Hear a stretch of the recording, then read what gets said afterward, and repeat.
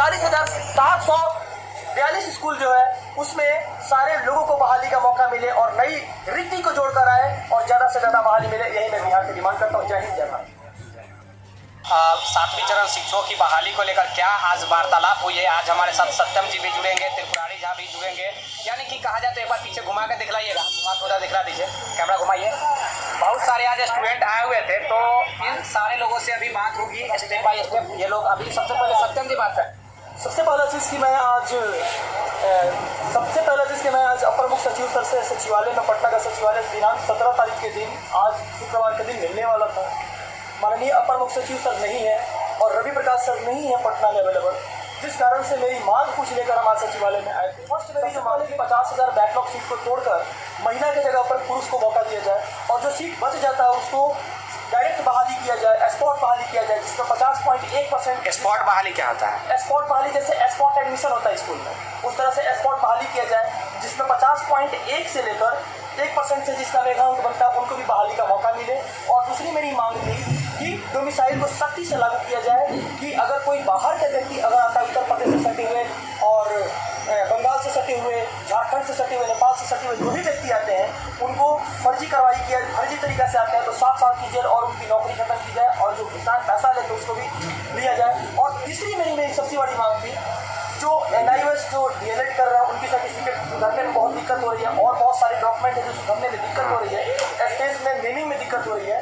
उस नेमिंग को सुधारने के लिए मैं सर से मांग correction correction problem correction problem जो हो रही है एफिडेविट लगाकर उनको भी मौका दिया जाए बहाली में ताकि ज़्यादा से ज़्यादा बच्चा लोग को दिक्कत नहीं हो। और मेरी अगली मांग थी कि मैं सोचता हूँ कि जो जितनी सारी अभी फर्जीवाड़ा चल रहा है, आधार कार्ड को लेकर सॉरी सीटेट सर्टिफिकेट को लेकर, मैं माननीय केंद्रीय मंत्री, जो शिक्षा मंत्री है, उनसे मैं बोलता हूँ कि जिस समय बहाली हो, उस समय सीटेट के लिए जो थंबनेल आता है, उस थंबनेल को मंगाइए, क्योंकि एक सर्टिफिकेट सीटेट का और एक स्टूडेंट का बहाली हो, क्योंकि छठवीं चरण में ऐसे बहुत सारे जगह हुआ था, दिक्कत हुआ था बहाली में, जो कि आज भी एक सर्टिफिकेट पर चार आदमी, पाँच आदमी नौकरी करते थे, इस चीज़ से दूर किया जाए। फर्जीवाड़ा को देखते हुए मैं मांग करता हूँ लास्ट मेरी मांग ये थी कि जब रवि प्रकाश सर जो लेटर जारी किया अनुपातिक रिक्ति का तब तक 26 जिला के लेटर अनुपात रेशियो क्या था? रेशियो था पीआरटी रेशियो होता है नई शिक्षा नीति के द्वारा तीस अनुपात एक। ठीक है? हाँ। हाँ थर्टी टू वन अनुपातिक रिक्ति का जब वो लेटर जारी किए थे तब तक छब्बीस जिला की रिक्ति आ चुकी हाँ, थी. रे रिक्ति का मांग करने के लिए मैं आया था माननीय रवि प्रकाश सर के पास।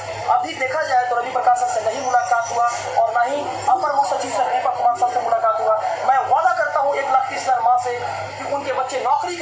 इसके लिए मैं तब पर खड़ा हूँ और आगे भी खड़ा रहूँगा। मैं सत्यम कुमार आज पूरे बिहार के सामने ऐलान करता हूँ कि इसके इस मांग के लिए मुझे अगर गर्दन भी कटाना पड़ता मैं कटाऊँगा।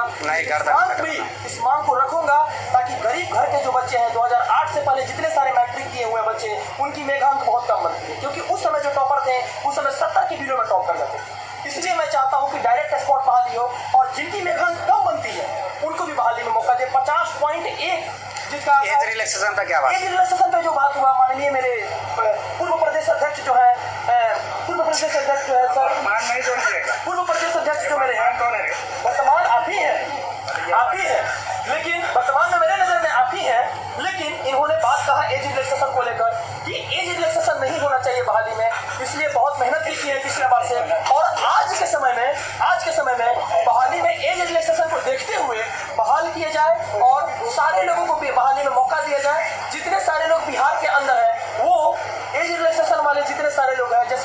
हज़ार से बारह हज़ार लोग ऐसे हैं जो एज रिलैक्सेशन चाहते हैं उनको भी बहाली में मौका मिले। और मेरी डिमांड ये है कि बिहार में ज़्यादा से ज़्यादा बहाली हो।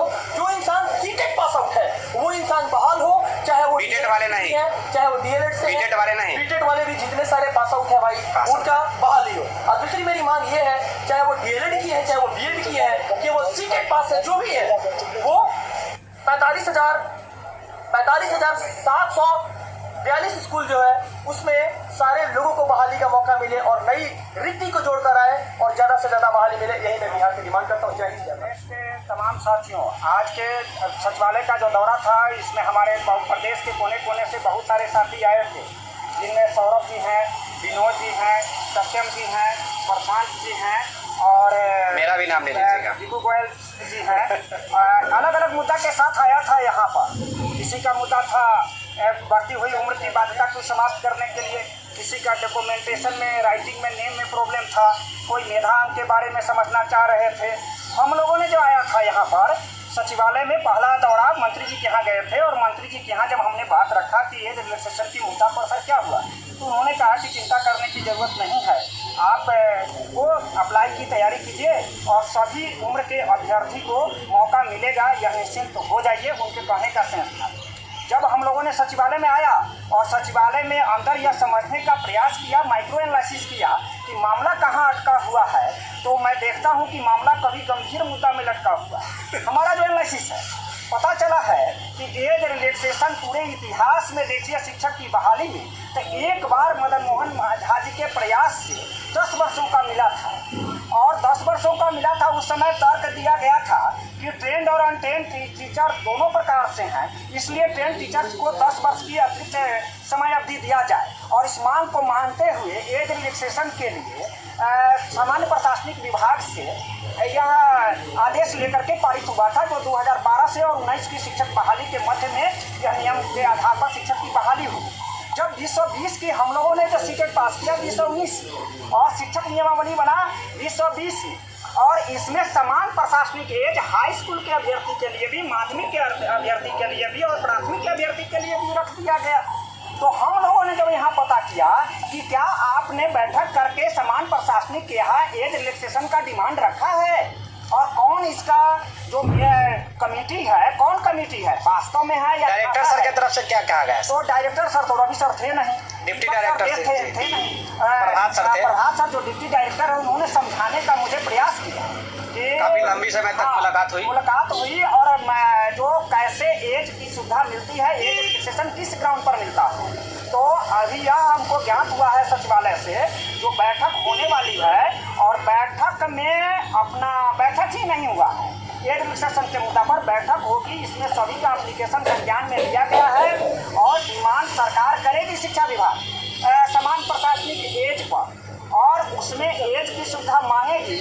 और प्रशासनिक एज देता है, तब इसमें एज रिलैक्सेशन की सुविधा मिलती है। अब मामला अटका हुआ है बैठक में। और बैठक में जो भी सक्षम पदाधिकारी है, हम लोग अपनी बात ज्ञापन के माध्यम से, चाहे शिक्षा मंत्री महोदय हो अपर सचिव है, दीपक सर हैं प्राइमरी के निदेशक रवि सर हैं अपनी बात हम लोग रखते आए हैं और रखते रहेंगे।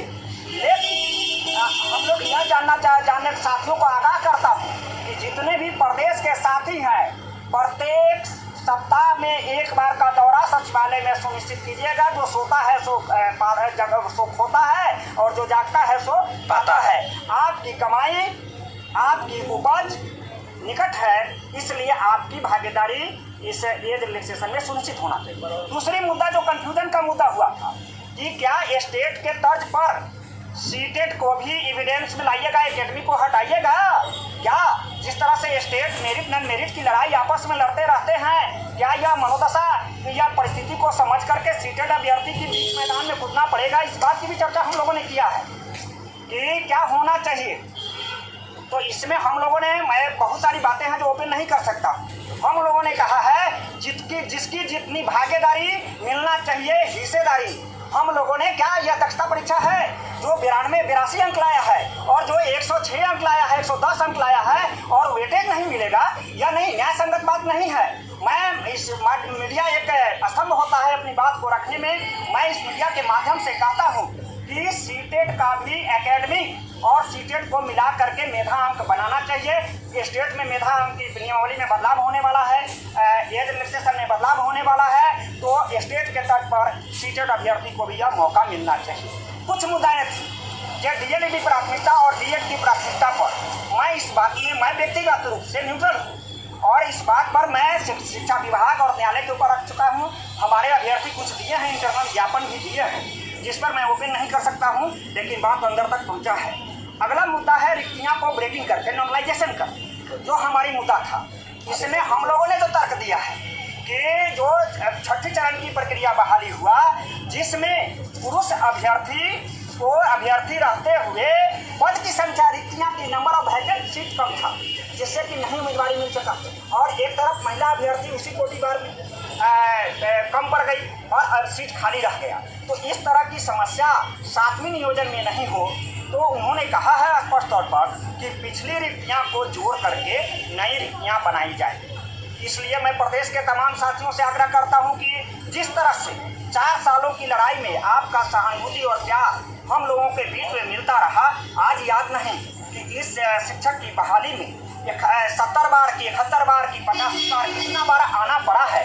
अनगिनत बार अपनी दौरा करने से अगर काम बनता है, हम लोग आने के लिए तैयार हैं। नींद कहा उनकी आँखों में जो धुन के मतवाले हैं? गति की तृष्णा और बढ़ती है पड़ते पग में छाले हैं। मैं अभ्यर्थी को न सोने दूँगा और न जगने दूँगा।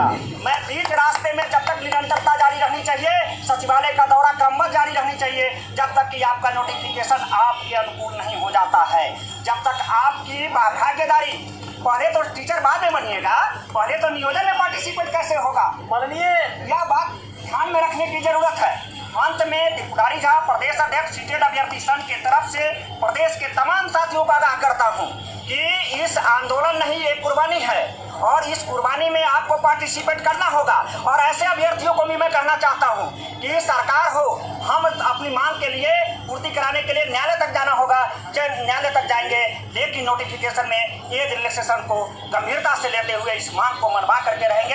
ऐसे जाने की ज़रूरत नहीं है। हमारा प्रयास, आपका प्रयास न्यायालय तक नहीं जाने देगा। मंत्री जी और बड़े पदाधिकारी शिक्षा विभाग की इस बात को समझने में समझा रहे हैं। हमें भी समझाने का प्रयास करते हैं। समझौता के तहत किसी तरह की बाधा नहीं होगी। इन्हीं आशा और उम्मीद के साथ जय हिंद, जय भारत। लेकिन मेरी मांग, पूरे बिहार के जितने सारे अभ्यर्थी हैं, उनसे मैं फिर से बोलना चाहता हूँ कि आज दिनांक सत्रह तारीख को शुक्रवार के दिन मैं सचिवालय में आया। उसको खंड वाइज तरीका में तोड़ने के लिए मैंने एक ग्रुप भी बनाया। सीटेड एस के सर्च बॉक्स में जाके लिखे टेलीग्राम में। आप टेलीग्राम अगर नहीं डाउनलोड किए तो प्ले स्टोर से डाउनलोड करके इस चीज़ को लिखे सीटेड एस के बीच में कोई स्पेस नहीं। डिस्क्रिप्शन में मिल जाएगा लिंक डिस्क्रिप्शन में दे दीजिएगा लिंक उसके बाद आपको मेरा group private Bihar private notification निकलेगा। उससे आप ज्वाइन कर सकते हैं। लेकिन